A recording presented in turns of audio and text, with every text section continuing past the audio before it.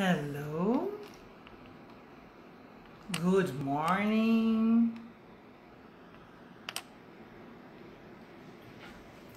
Good morning, good morning. Coloquei um monte de coração aqui, porque é com muito amor que nós vamos começar lá um pouquinho só atrasado, porque eu atrasei ali para imprimir, mas feriado e aqui estamos nós, sete horas da manhã, porque como eu falei no story de divulgação da live, não dá para brincar com o nosso futuro. Dá para brincar com o carnaval, mas não dá para brincar com o nosso futuro. Sempre é hora de aprender inglês. E feriado, muito mais. Não tem a desculpa de não tenho tempo, né? Então aqui estamos nós para estudar mais um pouquinho e para se dedicar para estudar, não é isso? Para quem não me conhece ainda, eu sou Adriana Tavares, professora de inglês há 35 anos e eu ajudo pessoas comuns a falar inglês desde a primeira aula. Isso mesmo, nada de ter que estudar 10 anos de inglês para depois começar a conversação, fazer dois anos de curso para depois começar a conversação. O legal é a gente aprender e já praticar. Aprender e já praticar. Como o nosso português, né? A gente aprendeu português falando, então a gente vai aprender inglês falando.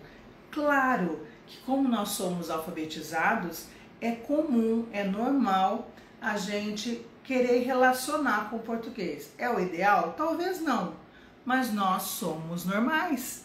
Quando a gente já sabe uma língua, é normal a gente comparar a língua que a gente está aprendendo com a língua que a gente já sabe, com a língua mãe, né?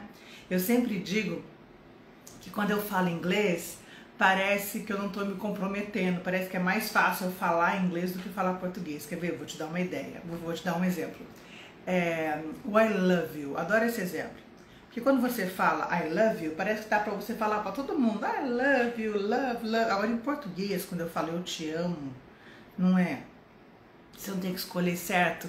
Não é pra qualquer um que dá pra falar eu te amo, né?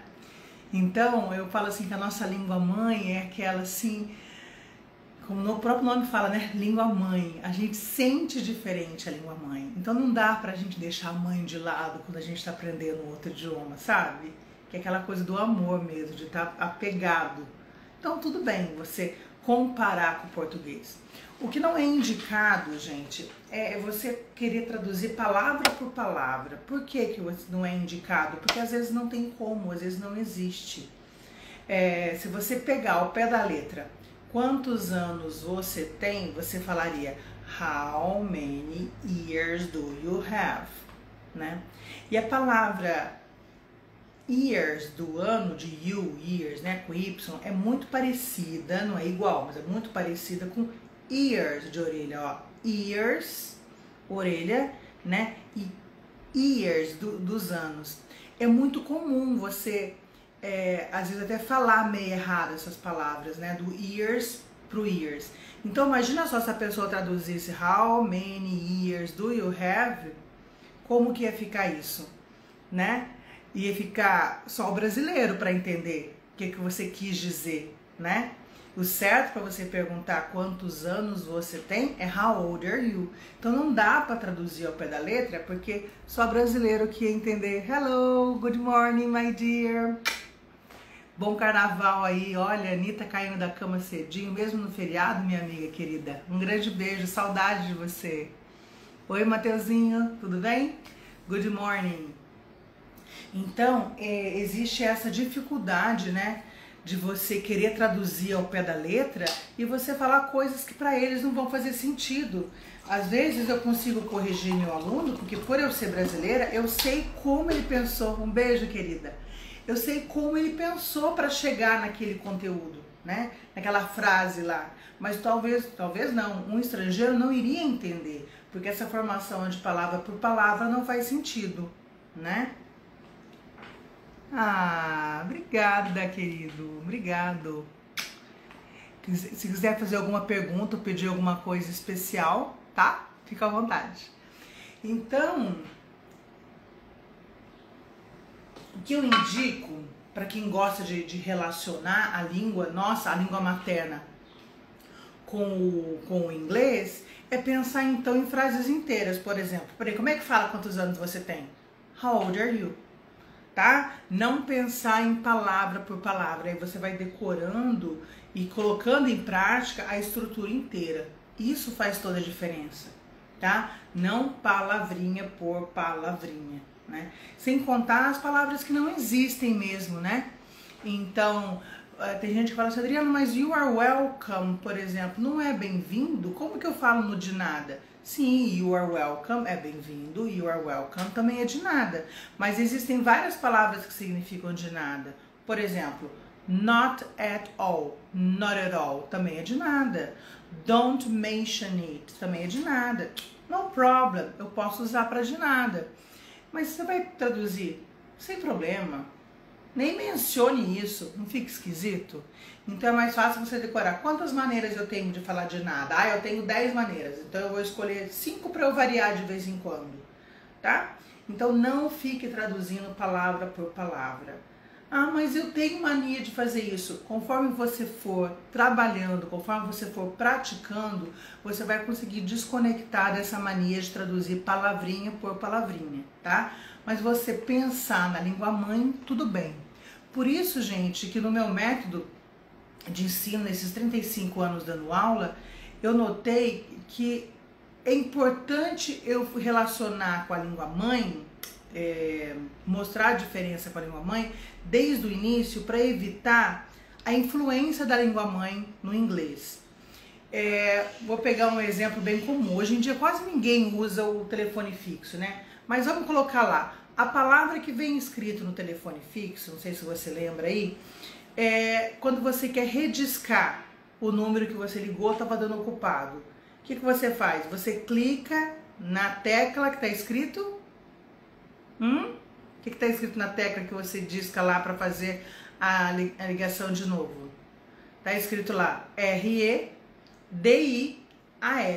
Como que lê isso? Não dá vontade de ler radial? Por quê? Porque em português essa seria a pronúncia, né? Radial. Mas a verdade é que a pronúncia é redial. Redial. Lembra do repeat? Então, re dial, que é rediscar. Quem que vai ler redial? Então, o que, que eu gosto de fazer? Eu gosto de mostrar a palavra, você olha a escrita da palavra e eu já falo o jeito que lê em seguida.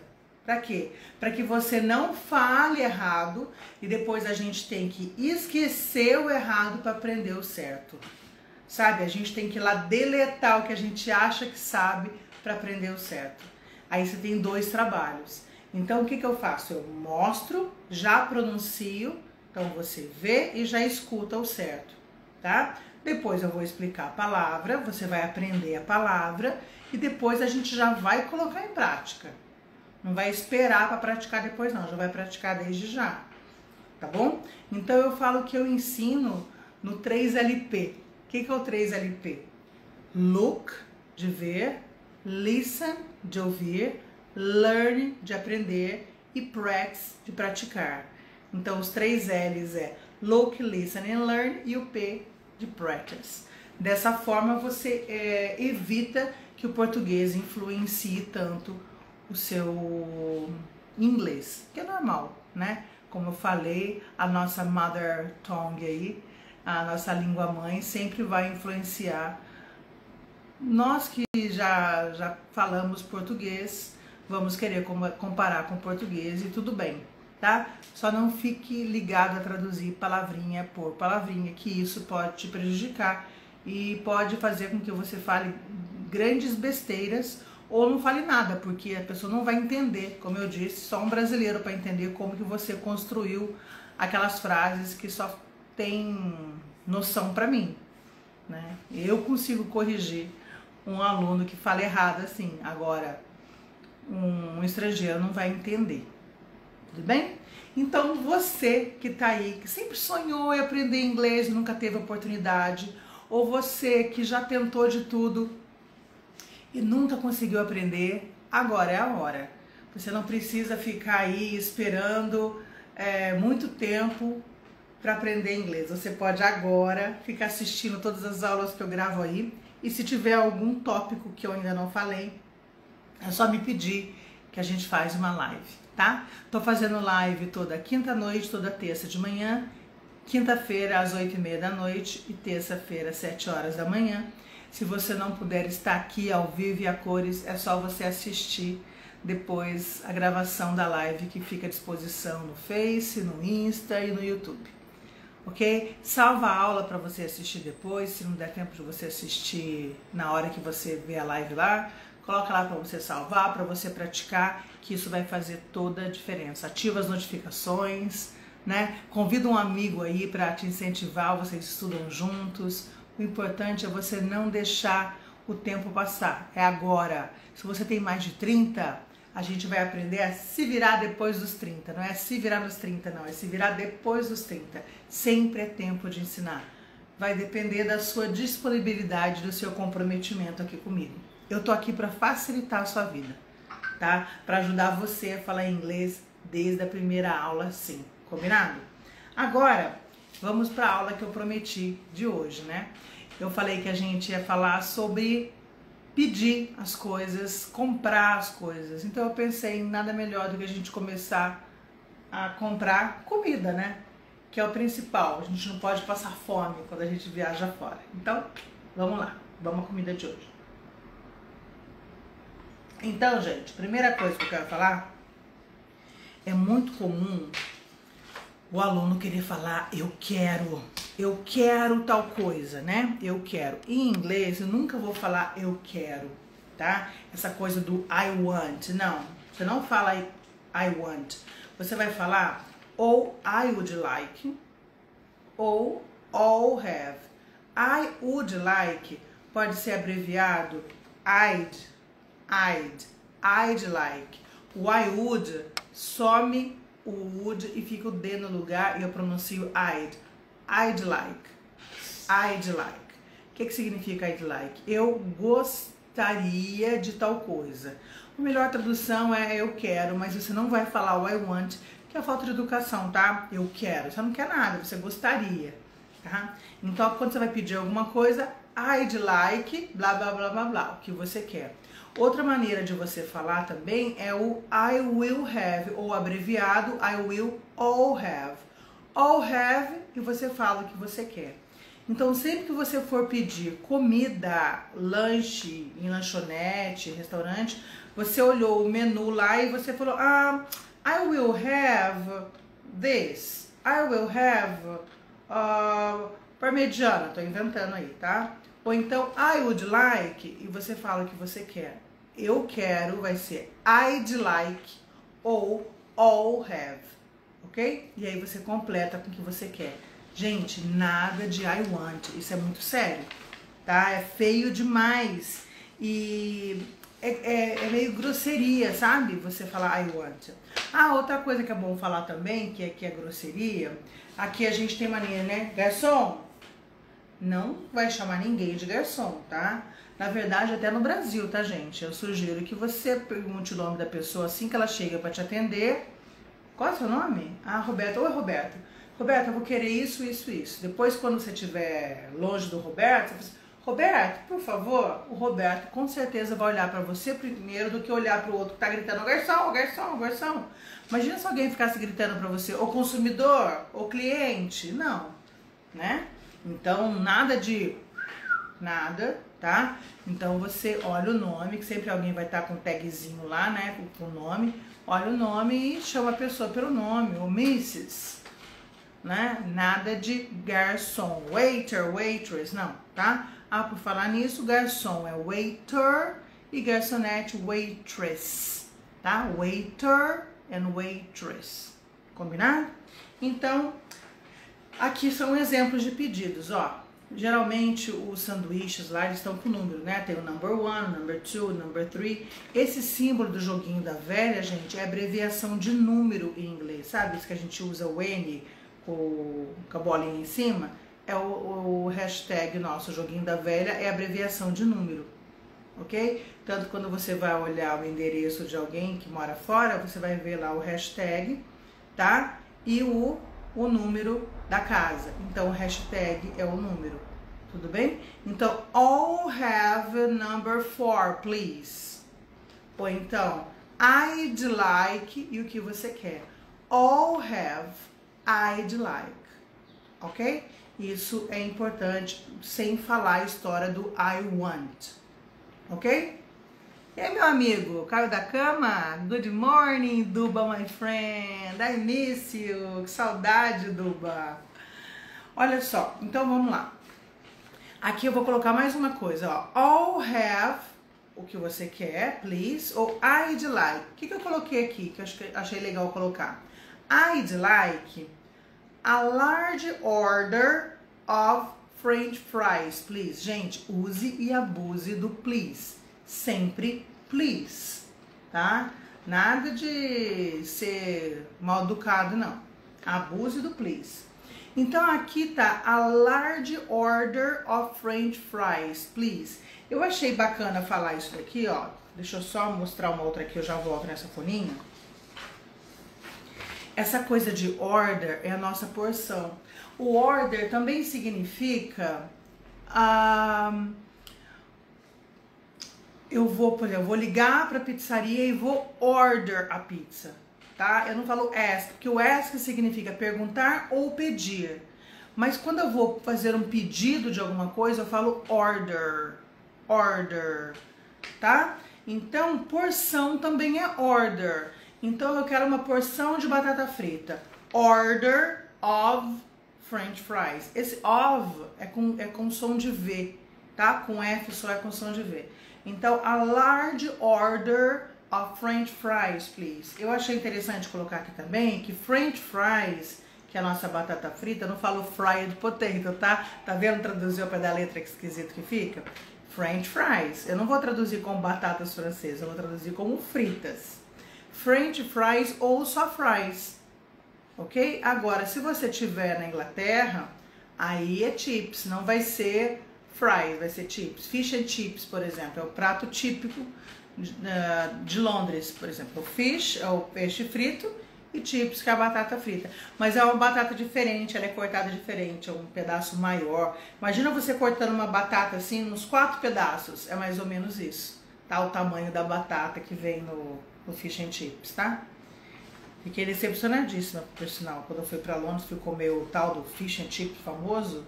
Gente, comida brasileira é tão boa, né? Quando a gente sai fora que a gente fala, meu Deus, que saudade da minha comida. Por sinal, meu amigo Duba, morro de vontade de comer as coisas que você faz. Meu Deus, precisa marcar um dia para eu comer as suas coisas, que eu fico salivando de ver as suas receitas. Sua e do seu brother. Então, gente, ó, order, tá? Porção, french fries ou fries ou chips é batata frita, tá bom? E aí, quando eu falei aqui, olha, troquei o papel, tá aqui. Quando eu falei aqui, I'd like a large order of french fries, please. Tá vendo esse large? Vamos falar um pouquinho dos tamanhos. Os tamanhos, eles são small, medium e large. Ok? Small, medium e large. O S é do small, o M é do medium e o large é do grande. Eu não falo big, tá? Eu falo large. Deixa eu colocar o óculos aqui que o Duba falou. Peixe velho, gosto forte, batata ruim. Exatamente. E de vez em quando ainda vem umas ervilhas meio esquisitas lá também. É, é bem isso, gente. Infelizmente, esse glamour de fish and chips é só na, de falar está comendo na Inglaterra, porque nada como uma comidinha brasileira, né? Bem temperada. Tá bom? Então, olha só. Small, medium e large. Nada de big, tá bom? Nada de big. O tamanho é large que eu falo. Então, voltando aqui, maneira de você pedir, all have, blá, blá, blá, ou I'd like, blá, blá, blá. No caso aqui, o number four deve ser algum, algum sanduíche, eu imagino no cardápio, ou não só um sanduíche, né? Às vezes no menu tem lá um número mesmo, como você não sabe falar lá a, a comida que você quer, você fala o número que está no cardápio. Ou I'd like, e o que você quer aqui, a large order of french fries, please. Combinado? Outra coisa que é importante de você falar na hora que você vai comprar é se você vai comer lá ou se você vai levar. Então, geralmente, você fala assim, ó, é, a large order or french fries to go, please. Se você não falar, vão perguntar para você, to here or to go? To here or to go? Vai comer aqui ou vai levar? To here or to go? To go, please, para viagem. Eu não vou falar to travel, tá? Aí deixa eu olhar aqui que tá goela seca. Então, tá lá. To here or to go? To go, please. Não confunda o to go com delivery, tá? O delivery, eles que entregam. Já que tá falando de comida, faz um vídeo ensinando a pedir ovos. Ensinando a pedir ovos? Como assim, Duba? Explica isso aí. Ah, ovos mexidos? Esse tipo de os tipos de ovos que tem, é isso? Me explica aí. Tá, gente? Então, o delivery é quando você, por exemplo, você liga pedindo alguma coisa, tá? Você order. E aí eles vão delivery, eles vão entregar para você. Então, quando a gente usa a palavra delivery, que a gente usa bastante o delivery, né?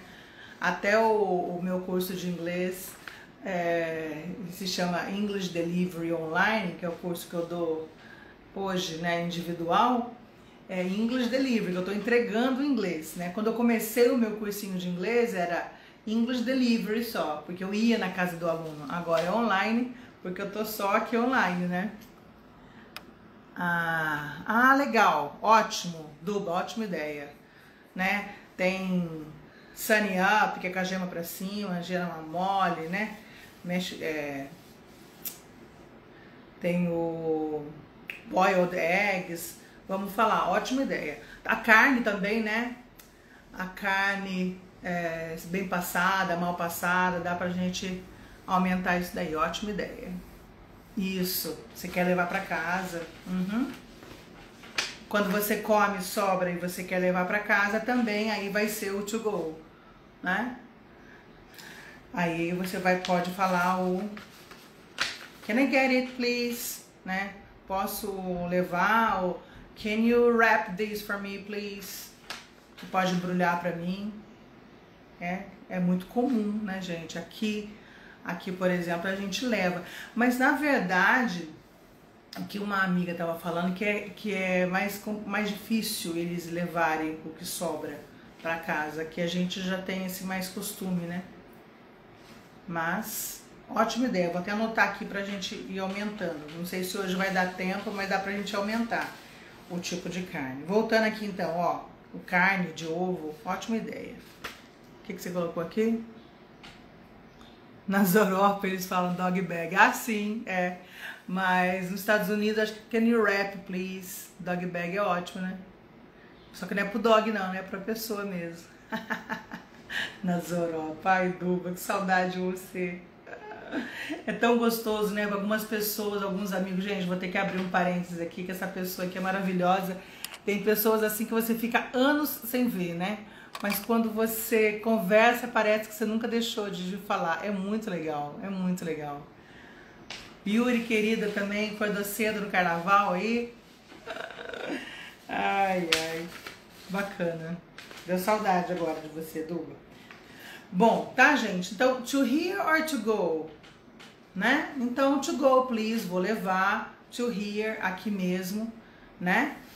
E vou comer aqui, pronto. Delivery, a pessoa vai entregar. Pessoa de quem você está comprando. Não é o caso aqui, né? Tá bom? To here or to go. Aí, gente, depois que você faz seu pedido, é muito normal você escutar isso aqui, ó. Anything else? Anything else? Esse anything else assim, alguma coisa a mais? Anything else? Aí você responde yes, se você quiser alguma coisa, blá blá blá, you please, capricha no please, né?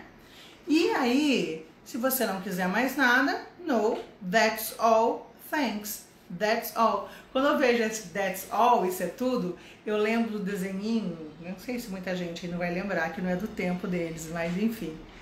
Terminava o desenho do Patulino ou do Gaguinho, daquele do Ana Barbera, aparecia assim, that's all folks sei se vocês lembram disso. That's all, folks. Isso é tudo, pessoal, né? Então, that's all, isso é tudo.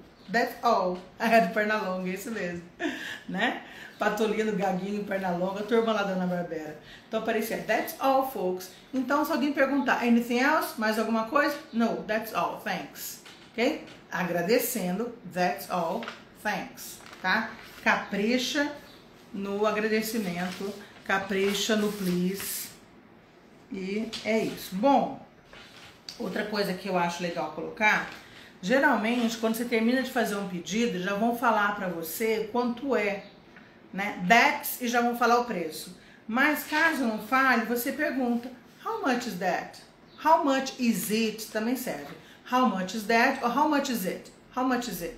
Aí eles vão responder it's e o valor da sua conta, tá? It's e o valor da sua conta. Tem uma live que eu vou fazer, não sei se é semana que vem, se é essa semana ainda, é que eu tenho planejado os tópicos das lives mas que eu vou falar números, tá? Eu vou ensinar uma maneira que você vai guardar número, não vai mais esquecer, não vai mais ficar confuso com relação a número. Mas aqui, às vezes, ao invés de falar só o, o número inteiro, é, vai falar algum apelidinho para moeda, algum apelidinho para os centavos. Então eu quero dar uma paradinha aqui para a gente falar sobre o dinheiro, tá? Deixa eu dobrar aqui para eu saber que eu parei aqui. Olha só. Deixa eu pegar aqui. Yuri, my friend. Saudade também, amiga. E aí, como é que tá Arapongas? Com Covid? Tá tranquilo? Duba tá em São Paulo, né, Duba? Yuri tá em Arapongas, no Paraná.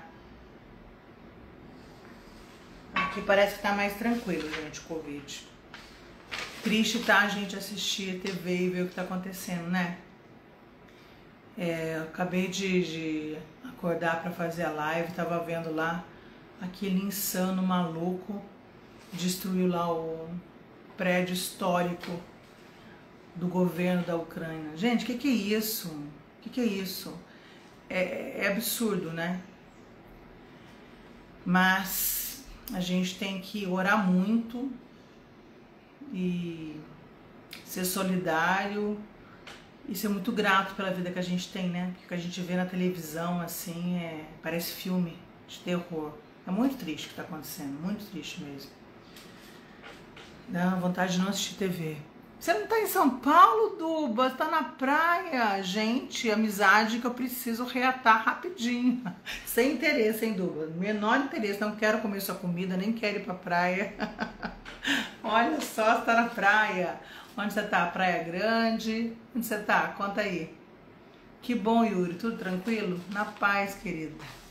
Que legal. É, você ri, meu amigo. Gente, o, o, Duba, você viu na internet, eu coloquei, você vovó, tô feliz da vida, feliz da vida. Ah, Peruíbe, eu acho que eu tava sabendo sim, Duba, acho que eu tinha esquecido. É isso mesmo? Deixa eu colocar de novo. Perubiza. É, Perubiza, com certeza. Gente, você vê? Olha só, tem gente que fala assim, Adriano, você vai fazer live 7 horas da manhã, né? Não tem ninguém assistindo. Você faz live 7 horas da manhã e encontra pessoas que você ama. É mole. Olha só, tá vendo? Quem acorda, como é que é? Quem acorda cedo, santo ajuda, não, como é que é? Quem madruga, Deus ajuda. Enfim, olha só, valeu super a pena. Você volta feliz da vida. Mariana tá grávida, o Theo vai, vai acho que é comecinho de julho. Comecinho de julho não, bem comecinho mesmo primeiro de julho, mais ou menos. Tô feliz da vida. Olha, olha, ficando velho, né, Duba? Acordar às 5 horas da manhã. Gente, pra quê? Pra malhar? Pra quê, gente? Tirar a lei da vaca? Pra que, que a pessoa acorda às 5 horas da manhã? Eu só acordo se eu tenho compromisso. Se eu não tenho compromisso, eu sou do minhoca. Eu acordava cedinho para caminhar com os meus cachorros, mas agora eu tô caminhando com eles à noite. Nem que seja 10 horas da noite, eu tô preferindo para dormir mais um pouco porque eu estava conseguindo acordar 5 e meia para caminhar das 6 às 7, que depois eu só, eu só, tinha aula a partir das 7, mas eu ficava muito cansada durante o dia, então não rolava não. Olha lá, vamos ver. Deus ajuda quem cedo madruga, é isso aí, Yuri. Porque durmo às 8, Duba, pelo amor de Deus, não acredito, gente. Tá morando aonde? Na roça mesmo. Só pode ser. Como é que a pessoa dorme 8 horas da noite? É, mas eu, na verdade, eu, eu durmo a hora que eu deito, assim. É, se eu pudesse deitar às 8, eu também dormiria. É que eu dou aula até mais tarde, depois ainda vou fazer as outras coisas, preparar pro dia, então fica meio atrapalhadinho. Né? Eu vou ter que cortar depois tudo para as pessoas assistirem a minha aula, né? Que a gente fica batendo papo. Mas é isso. Eu durmo muito tarde e acordo cedo, que a minha primeira aula, quando não tem a live, é aula às 7 horas da manhã, então eu acordo bem cedo. Mas por mim eu dormiria. Ontem, por exemplo, acordei meio-dia. Só que assim, dá uma estragada no dia, né? Dá uma estragada você acordar tarde. É bom você acordar cedo, mas eu sinceramente sou meio ursinha. Eu gosto de dormir ainda. Mas se é coisa de velho, acordar muito cedo, dormir muito cedo também, dormir com as galinhas coisa de velho. Mas eu acho que eu faria também numa boa. Né? Mas é isso. Então vamos lá. A gente estava falando na hora de pagar a conta. Eu acho que é interessante falar que o dólar também é conhecido, aqui tá com L só. Olha só, pedi pro maridão imprimir pra mim. Tá com L só, com dois L's, tá? Ah, não, aqui tá em português mesmo. O dólar pode ser chamado de buck. Sabe aquela coisa? Tem gente que o brasileiro fala assim.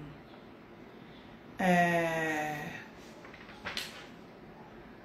Pila. Quanto custa isso? Cinco pau. Cinco pila. Não tem umas coisas assim? Algumas pessoas falam. Nossa, cinco contos. Sei lá, cada um fala uma coisa, né? Aqui tá buck.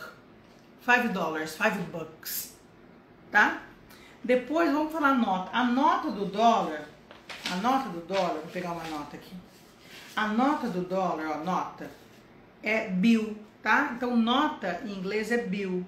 Agora esse bill também serve para falar de conta, né? The bill please, bill ou check. Os dois servem para conta. Quando você vai pedir a conta, the bill please, the check please, tá? Mas esse bill aqui significa nota. Então o dinheiro ele é dividido em bill e é dividido em coin. Coin são as moedas, tá bom? E aí eu quero falar sobre as moedas com vocês. As moedas de 25, de 50, de 10, de 5 e de 1 centavo. A, a moedinha de, de 1 dólar eu não tenho, procurei aqui, eu não tenho. Pra mostrar. Tá? Mas ela vai estar tá escrito 1 dólar mesmo e é fácil de você identificar. A moeda de. Gente, eu tenho uma lente aqui que foi da minha bisavó. Bisavó que eu uso para enxergar a moeda, porque a pessoa nem de óculos consegue enxergar, né? Essa daqui eu acho que é de 25. É. Eu não tenho a moeda de 50 centavos, eu falei de um, né? Eu não tenho a moeda de 50 centavos, mas de 50 centavos é chamada de half dollar. O que, que é half? Half é metade. Gente, não vai confundir half com Ralph. Ralph era o parceiro do Christian, Christian e Ralph. Acho que o povo nem conhece mais essa dupla, né? Tá? Não é Ralph, não, é half. Half dollar, metade do dólar. Então, moeda de 50 centavos pode ser chamada de half dollar, né? How much is it? Half a dollar. Half dollar você já sabe que é metade do dólar. A moedinha de 25 centavos, eu acho que não dá para enxergar que tá escrito aqui. Eu acho que não dá, nem por causa da luz aqui não dá. Mas se você tiver a oportunidade de olhar, a moedinha de 25, ela tá escrito aqui embaixo a quarter. A, ah, tá de ponta cabeça? Ai, pessoa. Obrigada, Du. Tá escrito a quarter. Eu acho que não tá dando para ler, né? Enfim, tá escrito a quarter aqui embaixo, tá? A quarter significa um quarto. Então, um quarto de um dólar, um quarto de um dólar, 25 cents. É, acho que não dá para você ler, não. Tá bom? A moedinha. Agora, gente, essa coisa do um quarter ser 25 depende do inteiro, né? Teve um aluno uma vez que falou assim pra mim: Ah, você me fez pagar o maior mico na Disney. Você falou pra mim que a quarta era 15 e lá a moça falou que é, na maquininha lá tava quarta e era 25, não era 15. Eu falei assim, meu querido, eu falei para você que a quarter era 15 em relação à hora, depende do inteiro, né? Então, a quarter de uma hora, uma hora tem 60 minutos, a quarter é 15. Agora, o dólar, a quarta de um dólar é 25 cents, né? Porque um dólar tem 100 cents. Então, depende do inteiro, tá? A quarter significa um quarto, tá? Então, na moedinha de 25 centavos, está escrita quarter. E assim, deixa eu olhar de novo com a lente da minha bisa. Olha o óculos da minha bisa, como é que era, gente. Olha. Imagina guardar isso aqui. Tá escrito a. E não tem, gente. Tô até olhando aqui de novo, ó. Não tem o 25 escrito, entendeu? Então, se você não souber que a quarta é 25, não tem como você saber que isso aqui é 25 cents. In God we trust, tá escrito aqui, né? Pois é, lá, não adianta ser professora de inglês, né? Mas a culpa não foi minha, a culpa foi dele, ele que era ruim de matemática, Duba. Não era a professora que era ruim de matemática, era o coitado lá, né? Porque eu falei a quarter. Eu falei a quarter de hora, né? Não imaginei que a pessoa fosse achar que era a de tudo. In God we trust, em Deus nós, nós confiamos, tá? Então aqui a moedinha de 25 tá escrito a quarter, ela não tem o número 25 para você ver, tá? Então ela chama a quarter. Depois, gente, deixa eu olhar essa piquititi, que ela é pequenininha aqui. Ela, ela tá escrito one, one dime. Eu tô procurando um número para ver se tem o número dela. Não tem. Mas ó, o tamanhinho dela comparando com a de 25. Olha só. Ó, essa pequenininha aqui, ela é de 10 cents. E ela tá escrito, deixa eu tentar segurar sem ficar de ponta cabeça aqui. Aqui. Acho que não dá para ler. Tá escrito one dime. D-I-M-E, one dime. Não tem o número 10 nela. Então você tem que saber que a moedinha de 10 chama-se dime.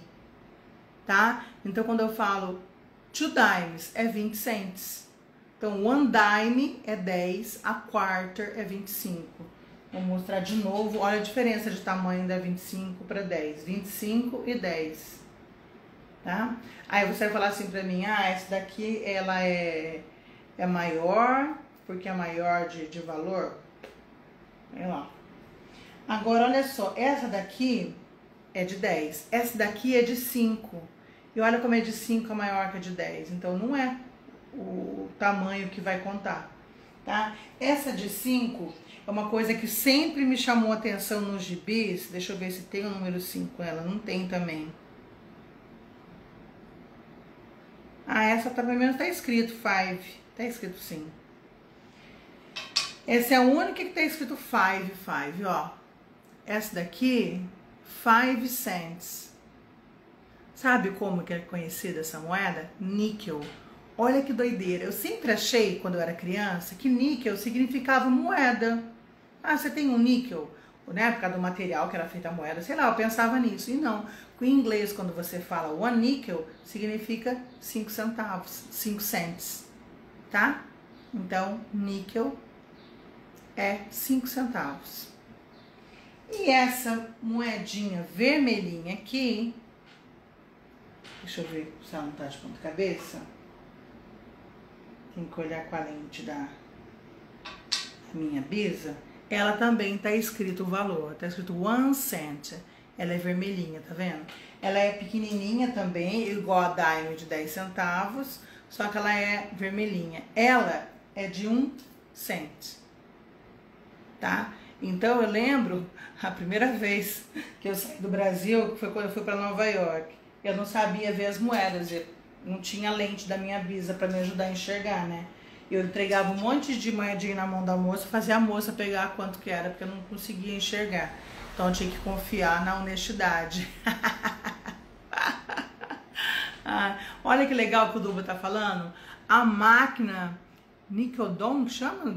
Nickel Odeon. Ah, tinha esse nome porque funcionava com uma moeda de 5 centos. Olha só, ignorante aqui não sabia. Mas quando eu era criança, gente, eu achava que Nico era qualquer moeda, eu não sabia que era de 5 centavos, né? Ainda mais quando eu lembro do gibizinho do tio Patinhas, né? O Guim, Zezinho, Luizinho pedindo níquel, níquel, níquel, era moedinha de 5, tá? Então, vou até levantar aqui para mostrar para vocês. Olha a diferença das moedas. Dá para ver? Ó. Então, tem aqui a de 25, a de 10, a de 5 e a de 1 um centavo, tá? São as moedinhas, são as nossas coins, tá? São as coins, são as moedinhas. Ok? Só pra saber aí de curiosidade, eu achei bacana. É, eu ainda tenho uma aluna que ficou rindo quando eu ensinei a palavra penny, né? Que é um centavo. Ela falou, peraí. Então, é, penny é um centavo, níquel, 5 centavos, dime, 10 centavos e a quarter, 25 centavos, né? Quer dizer que se eu quiser comprar alguma coisa por 2 centavos, é two pennies? Eu falei, two pennies. Eu falei, nossa, não tá valendo nada. eu dei risada.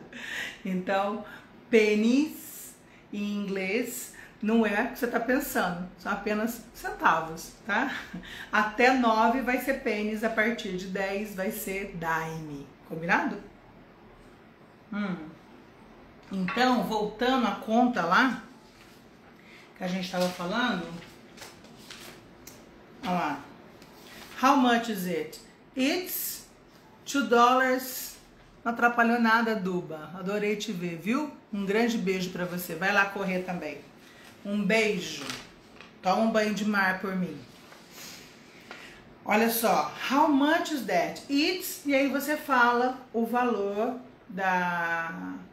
Vai, você vai ouvir o valor da conta, né? Pode ser que fale, por exemplo, 10 dollars and a quarter, né? Ou 10 dollars and two pennies, 10 dollars and uh, one dime. Aí você já sabe, o dime é 10 centavos, o níquel 5 centavos, o penny 1 centavo e o a quarter 25. Combinado?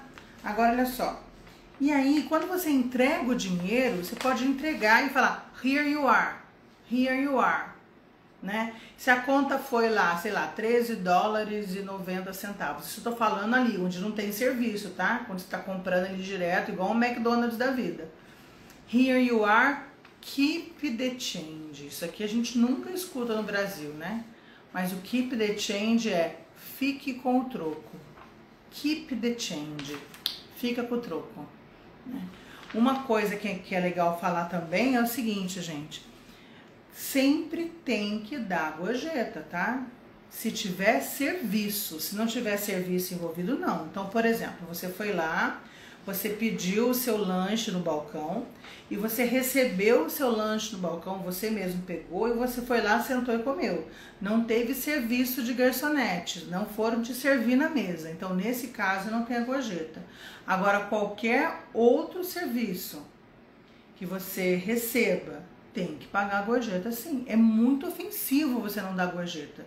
Eles vão perguntar: você não gostou do meu serviço? Algum problema? Tem alguma coisa errado? Tá? E gorjeta em inglês eu não, eu não coloquei na folha, de que ter colocado? É tip. T-I-P. Tá? Eu posso falar keep the change, o change aí, que é o troco, pode ser a gorjeta. Né? Keep the change já sendo a gorjeta. Tá? Só que a gorjeta tem que ser no mínimo 10% da conta. Geralmente, é, se for uma conta pequena, né? É, pode ser até 25% no táxi, tudo tem gorjeta.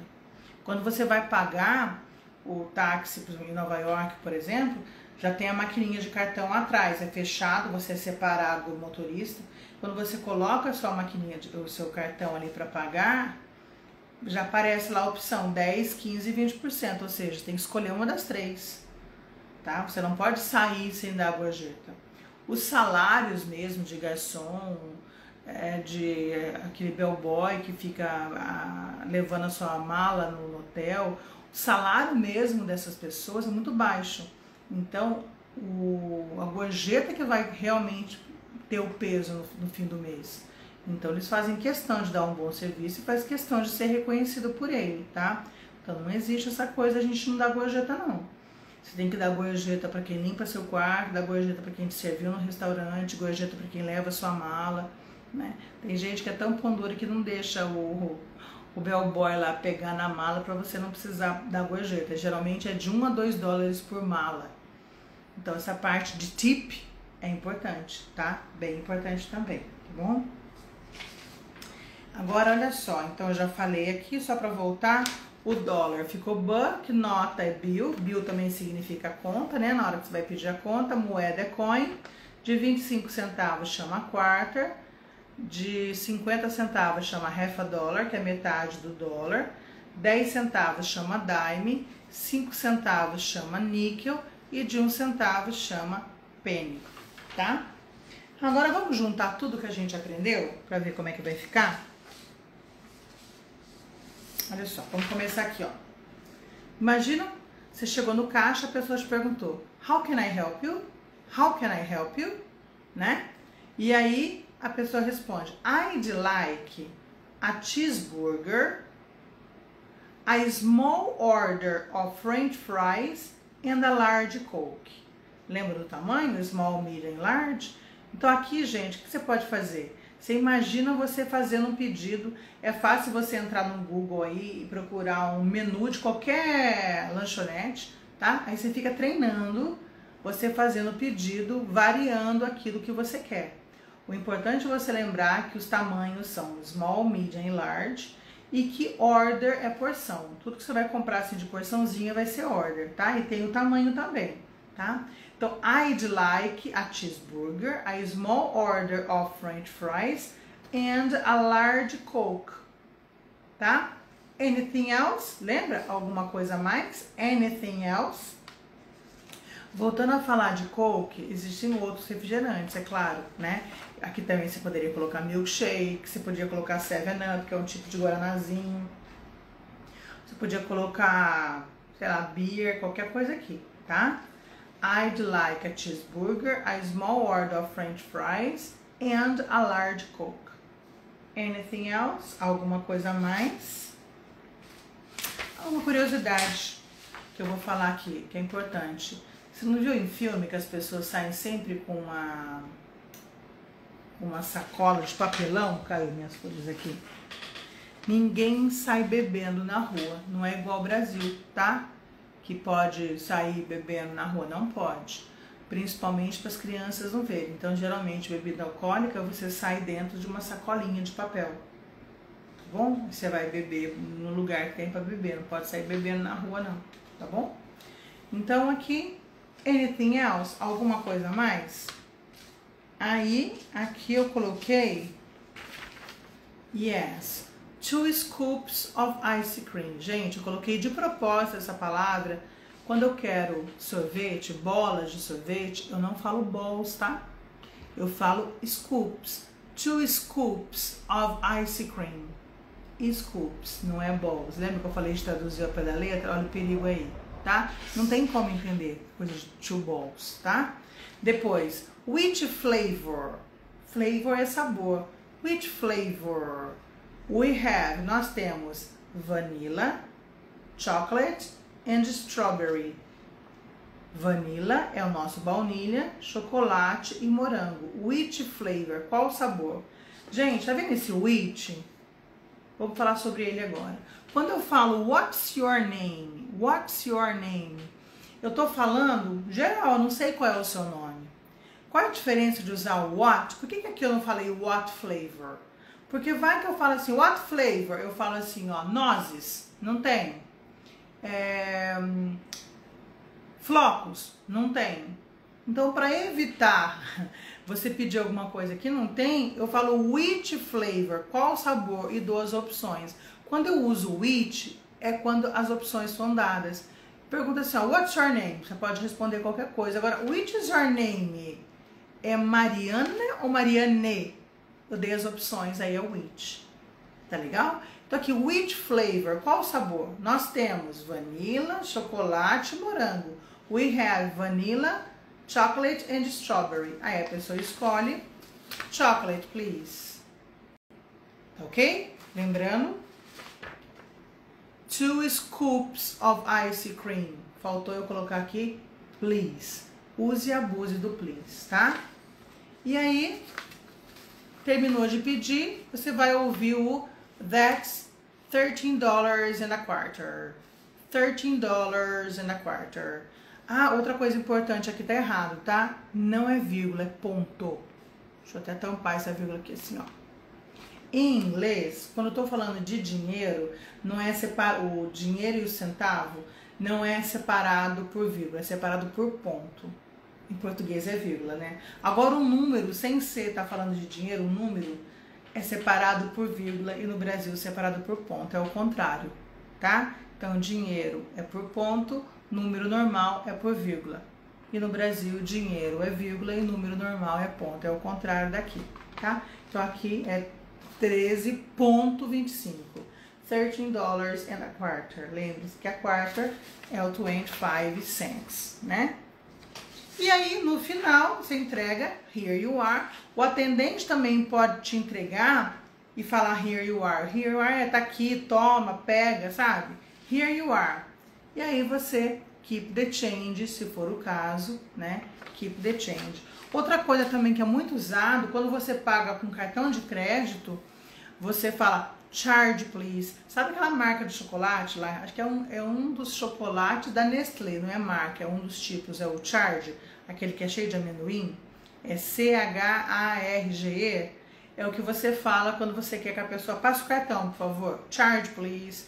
Teve uma mãe de um aluno meu que foi viajar, ela só queria aprender isso. Eu ensinei charge, please. Ela só ficava lá no cartão de crédito. Charge, please, charge, please. Então, você, ao invés de pagar em dinheiro, você pode pagar no cartão de crédito. Charge, please. Ok? Bom, é isso. Para pedir comida, pedir numa lanchonete, pedir num restaurante, né? Lembrando do tip da gorjeta que é importante entre 5, 10, 5 nada, 10, 15, 20%. Não pode esquecer da gorjeta. E agora você vai treinar muito. Salva aqui essa aula para você ficar vendo como pedir. Lembre-se, all have ou I'd like, nada de falar I want. Depois que você pedir o que você quer no menu lá, please, abuse do please, né? E lembre-se que pode ser que eles falem um, um dime, nickel, a quarter, e penny e você sabe que são os nomes das moedas, ok? Se você quiser alguma coisa é, personalizada aí, alguma coisa que você precisa, uma dúvida, coloca aqui embaixo nos comentários ou manda no direct, manda que eu faço questão de te responder, porque eu quero que você fale inglês desde a primeira aula. Não precisa ficar aprendendo para depois sair falando, tá? Então brinca aí, é, com seu filho, com seu marido, com um amigo, brinca aí, um é atendente, o outro está pedindo lanche, ou você fica treinando sozinha mesmo. O importante é você colocar isso para funcionar. Lembra? Eu te mostrei, você look, eu falei, você listen, eu expliquei, você learn e agora é hora de practice, é hora de praticar, tá? É o 3LP: look, listen, learn e practice. Combinado? Então até a próxima live, quinta-feira, oito e meia da noite. Mas enquanto isso, dá uma maratonada aí, tem bastante é, dica de vocabulário, bastante aula, é, vocabulário e gramática, tudo que você precisa para logo logo estar tá falando inglês, ok? Bom carnaval, juízo e não esquece de tirar um tempinho para orar, para mandar um pouco de luz aí para o nosso planeta que está precisando acalmar os corações e acabar com esse terror que a gente está vivendo por aí. Combinado? Um beijo, see you, bye bye.